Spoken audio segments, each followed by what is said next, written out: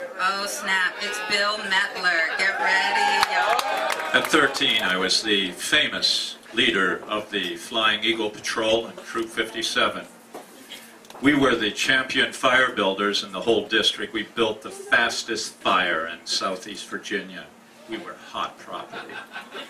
So it was no surprise to me that the scoutmaster practically begged me to give the fire building demonstration at the camporee. I relented after his uh, groveling, and uh, I, I said I'd do it. I packed for this green bar camping trip, leader camping trip. Opened up my pack. I was going to cook shish kebab. So I put the meat and vegetable chunks in aluminum foil. That's the only wrapper we had. And I put, um, wrapped that up, threw it in a pack, and then I wrapped up a whole potato that I was going to throw in the coals later in aluminum foil, and, and I wrapped eight Oreo cookies. My mom wasn't looking, and I took a whole column of cookies and slipped it into the uh, aluminum foil and uh, put that in my pack. And last of all, the finest sleeping bag in the Western Hemisphere. This sleeping bag was coated with that pajama material, you know. People in the know would call it flannel. Well, it had a deep blue, red, and white plaid, and it was like sleeping in a cloud. Well, we arrived at the camping spot, and it was a huge field ringed by trees. And growing in this field were huge six foot weeds that were strawberry blonde. You could take a weed and pop it out of the ground, and it made a dirt clod bomb. You could take it and. Easy. Good loft. Well, I cleared a place for my tent and the fire pit, and I got my fire going and the shish kebab out. I had all that meat and vegetables skewered on the, the uh, coat hanger, and uh, I was cooking it over the fire. Now the fire was shifting and it was getting in my eyes. I had to circle around the campfire. It was burning my eyes. Finally, the flame goes down and it's ready for that hot bed of coals that I slipped the potato in. Then all of a sudden, boom!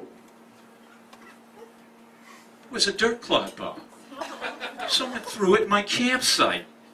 I said, hey, idiots! I'm over here cooking! Boom, boom, boom. Two more dirt clod bombs. That's getting no respect. In my 13-year-old logic, I thought the only way to get some respect from these idiots is shock and awe. So I took one of the dirt clod bombs, I tipped it in the fire. When it got a nice flame, I threw it back. There, assholes, take that.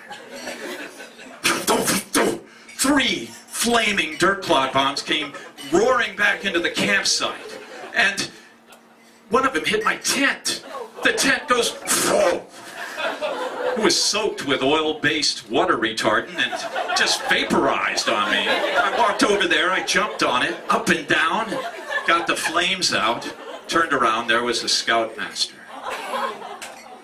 He said, under the circumstances, William, you will not be giving the fire safety demonstration tomorrow.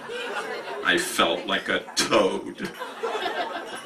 The scoutmaster was my dad. I was disgraced, so I turned to my supper. And the shish kebab had footprints on it. It was covered with dirt and ash. I said, screw the supper, I'm going right for the Oreos. So I went into my pack and I unwrapped the aluminum foil and it was a potato! What had I thrown in the fire? I got the sticks, I got the... It was burnt Oreos. I was going to go to bed.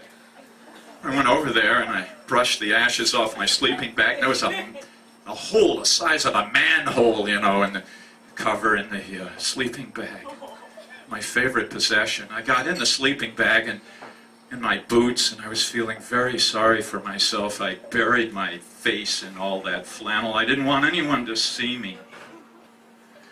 But then eventually I rolled over, cleared my eyes, and I was looking up into the black bowl of the sky. There were a billion stars. And the Milky Way looked like a luminous cloud stretching across the heavens.